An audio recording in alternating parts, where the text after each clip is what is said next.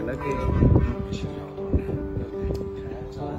lại là sức khỏe nha sinh nhật vui vẻ nha. Ngon bạn ăn xong rồi hai thằng ra ờ, chèo trống cây nha chứ cây mà nó đổ một cái là mất to mấy tỷ á. Mời mọi người ăn cơm nha. Ờ, Chống mưa bão bão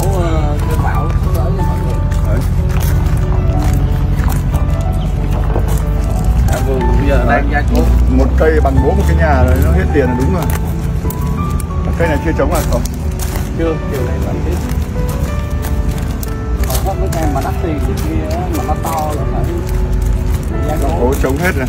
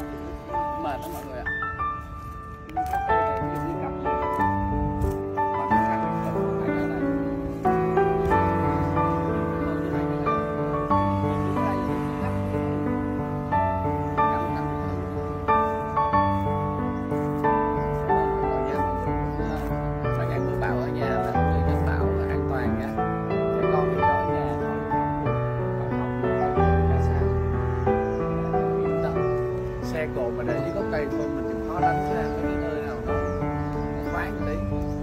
Để dưới gốc cây lỡ bão đi qua nó bật cây nữa. Thì ok lắm. Cảm ơn mọi người nha. Chúc mọi người phải ăn cơm thôi. Vợ con đâu thấy cảnh này đâu.